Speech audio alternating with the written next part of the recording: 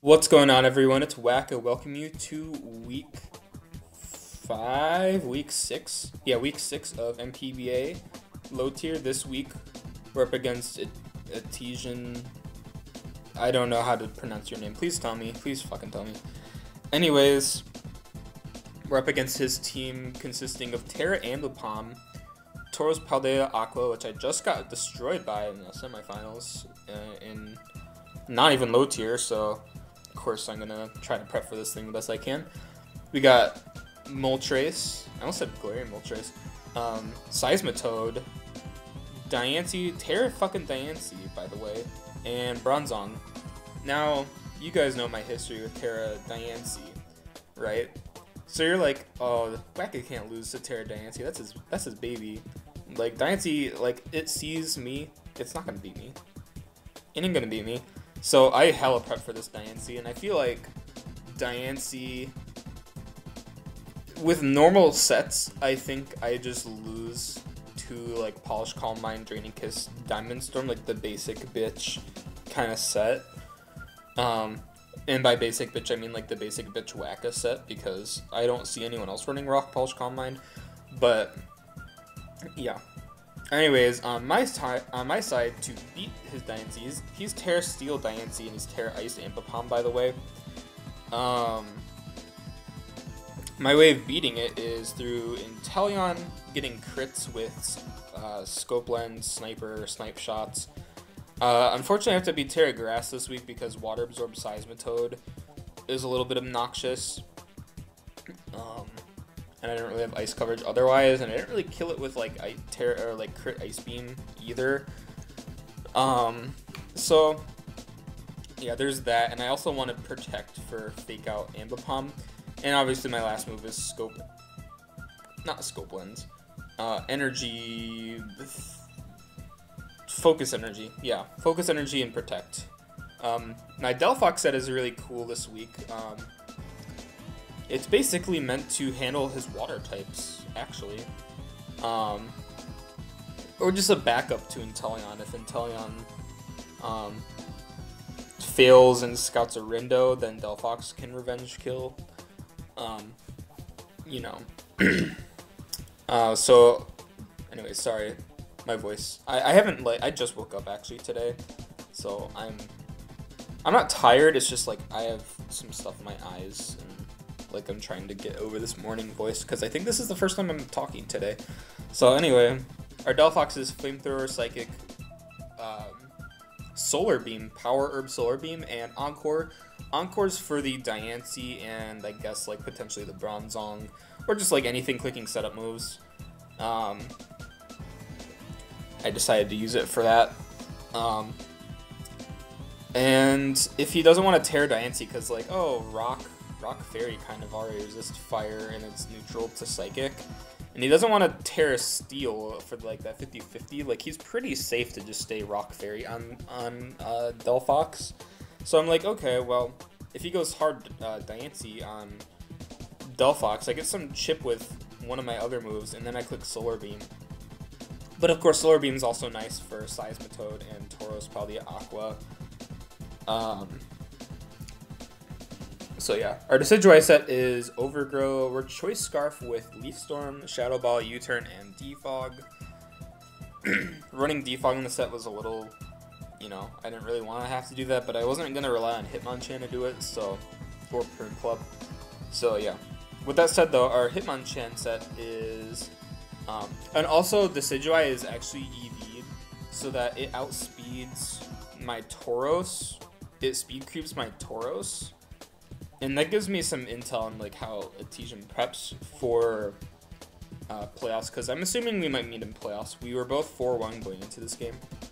Um, so if his Ambipom outspeeds my Decidueye, then I know he just runs like 252 sets. But if it doesn't, then I know then like he's actually like a smart opponent. Not to say that people running 252s aren't smart, but they'd be a lot smarter if they use their EVs somewhere else, and that could help them win games. But you know, our Hitmonchan set is Assault Vest. Um, why did, why did I run Assault Vest? Let me look at my prep doc really quick. It's for Zoroark, yeah, it's really just for Zoroark, which he didn't bring, thank God. Oh yeah, in the back he had Zoroark, um, Dedenne, and Dhelmise. I was ex- I don't think I was expecting Dhelmise to come. I felt like Dhelmise got too pressured by my Fire Water Grass starter core, which is really interesting that they're all like standing next to each other. I'm glad I was able to bring all three of them to a game. I think I've already brought all three of them to a game like once, but I feel like I haven't used Delphox or Decidueye that much. So yeah, uh, anyways, our Hitmonchan set, because I keep getting off track, is Drain Punch, Rock Slide, Knockoff, Rapid Spin. I do have that extra removal slot on it, just in case. Um, but basically, this thing is kind of just meant to take on, like, special attackers. And because there's no Zoroark, I'm kind of seeing it as, like, kind of a sack in this matchup. Our Duraludon is actually Rocky Helmet for this Ambipom, because if I can bait Ambipom to click Triple Axel, if it's not, uh, if it's protective pads, then like it's not as scary as like you know, choice band or um, technician or skill link. Um, you know, like options like that. Uh, like if I can be able to click triple axel, then it's basically losing all its health. Uh, we have flash cannon, body press, flat, uh, dragon tail, and thunderbolt.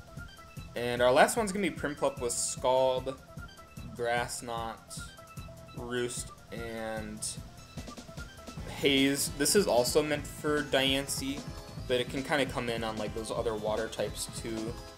Um, because I don't, because like the Decidueye is kind of dealing with everything else low key that I kind of just wanted to use Prinplup as like a backup for everything.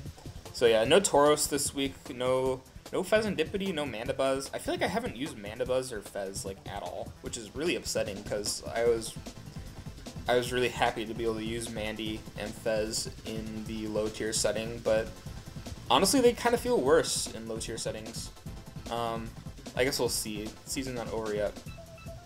Anyways, okay, I was just making sure this is muted. I'm gonna lead with the Decidueye as they lead Ambipom, I'm like, okay, I could Leaf Storm and just potentially kill this right now, but if he's running like any HP investment, then it's about a 50-50, and I feel like I don't need to risk a 50-50 on turn 1, especially when Duraludon is made for this Ambipom. So I'm to go hard Duraludon after the U-turn. He knows I'm Scarf now, and I actually know that he's uh, Protective Pads.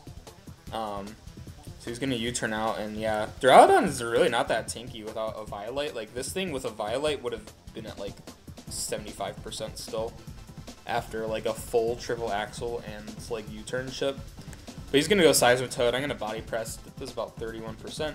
I see he's not Leftovers. However, he's gonna get up his Rocks. And he's gonna switch into Moltres because he doesn't want to take the...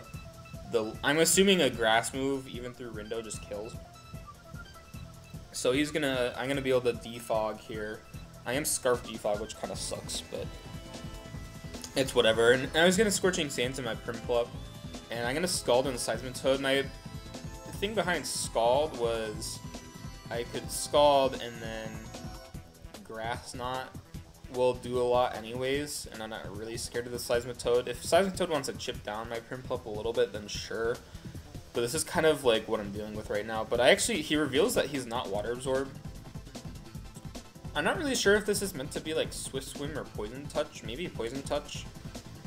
I do get the Scald Burn on him though. Which is nice for me as I Grass Knot into his Rindo Berry. Does about 24%.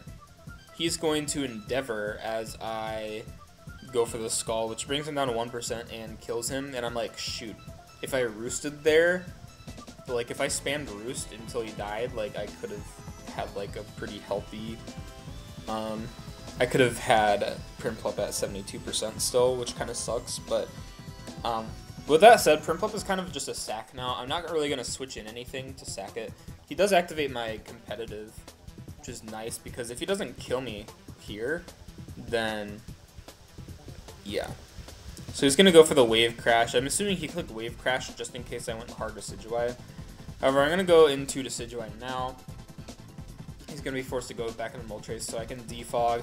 Rock should be gone for the remaining of the remaining portion of the battle. He's going to get a Scorching Sands burn on Hitmonchan, which really sucks for me. However, I am Assault Vest, and I'm going to tank the fuck out of this thing. I'm going to knock off his boots. And I'm going to eat the flamethrower as I rock slide. And I'm assuming, I think he roosts here. I should have maybe went for like a rapid spin so I can outspeed him, but it's like kind of whatever. Like Hitmonchan really wasn't meant to do anything in this in this particular battle because there was no Zoroark. Um, however, this thing, I, I'm not gonna reveal my tech though. And he's gonna flame charge, and I die. Uh, now he's faster than my Inteleon, but I'm not gonna tear Inteleon. He's already revealed his full set. Scorching Sands won't KO me, Flamethrower won't KO me, Flame Charge won't KO me, but Snipe Shot will kill him. So I'm gonna Snipe Shot, which kills the Moltres, thank god. I was gonna go into Tauros for some reason. I'm like, he might be a Rindo berry, honestly. But I haven't revealed my Tera, and if he is Rindo, I don't really... I want to preserve my Decidueye. I feel like my Decidueye is a little bit better at this point with something chipped down. I don't know why I thought that. I guess I just assumed he already ran Rindo on this. Like, he might not be running Rindo on this. I'm thinking this thing might be, like, choice locked. It might be, it actually might be, like, choice scarf. I could, I didn't really think about choice scarf. But if he was choice scarf, I'm not really sure what I would have done. I guess I could have went to Decidueye. And I probably should have went to Decidueye. I actually feel like I should have went to Decidueye and then just, like, click Leaf Storm on whatever came in. But, uh... He ends up just dying to this Tera Blast. I'm not really sure what his thought was. I guess he wanted to bluff Scarf and maybe switch into Decidueye and then, like, what? He Throat Chops me? Like, Choice Band Throat Chop KOs Decidueye, maybe? I'm not really sure. I could have also probably just sacked Duraludon at that point, too. However, he's going to go into Bronzong as I go hard Delphox, uh, I didn't want to risk like Snipe Shot and losing my Inteleon because Inteleon can kind of deal with Diancie still. Um, I think Inteleon is my last hope against Diancie. However, he's Calm Mind Delph or he's Calm Mind, so I'm gonna Encore him in a Calm Mind, and then that's like okay, I can go into Inteleon here instead of my Focus Energy if he wants to stay in. He's gonna Tera Steel his Diancie. Snipe Shot doesn't really do that much as he gets up his Calm Mind. I'm gonna snipe shot. Crit snipe shot will kill him. Um, and this wasn't a roll because uh, sniper snipe shot crits actually do like a little bit over double damage. So this wasn't a roll at all. I think this did minimum like 75. Maybe did like minimum 70. Because it's not like that much over times 2. But I don't think this mattered at all, that crit. Um, and he says man in chat. like, I, didn't really matter. He's gonna call, I'm gonna call him, wow, I really can't talk. I'm gonna focus energy on the Bronzong, because I, I think critting Bronzong is better than, um, missing the crit as he's calm minding up.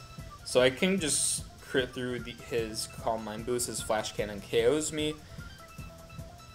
I'm gonna go into Delphox and flamethrower him, which for whatever reason, this Delphox just can't stop critting things. That crit mattered in no way whatsoever. Unless he was like Heat-Proof Zong. Which I don't think he'd be... Actually, he could be Heat-Proof Zong. I mean, like, my ground type is Stunfisk. So if he's Heat-Proof Zong, I have no idea if that mattered. Anyways, he's gonna click Focus Punch on Aeropon for some reason. And, yeah, Tail Slap will come out. I'm gonna Solar Beam his Ambipom. And because he revealed the Focus Punch, I was like, I might as well just reveal my Solar Beam tech. So yeah, Delphox gets the last KO. Um, DG's 2 Tijin. Inteleon gets 3 KOs. Delphox gets 2. I think Prinplup got the Scald Burn KO on Seismitoad, which is nice. So yeah, my whole team kind of did something. Duraludon and Hitmonchan really didn't do that much, but I didn't really need them to, because my whole plan was just to kind of out-offense him if he brings me into like a danger zone with like this Ambipom. Like a weird Tera that like Tera Dragon for example on Ambipom. Then I could have been in a weird spot. Um, but that's what Prinplup, Duraludon, and Hitmonchan were kind of for. And yeah. So with that said, I will see you guys next week. I feel like a little congested today, but I think it's just because I haven't showered yet or anything. So, yeah. With that said, I will see you guys for next week when I face somebody. I don't know. I'm just glad this game didn't get an extension. I end up having to play on a Sunday. Um, we were supposed to play on Saturday, but his sleep schedule ended up getting like very off. So I was a little bit worried about having to extend even after prep. I think I prepped for this game on like Thursday night. So having to extend like a long time after prepping like a week ahead of time. Not even like a week ahead of time. Like I prepped two days ahead of time for like our actual match, but if the actual match ended up being like a week later, then I probably wouldn't have been as prepared for this.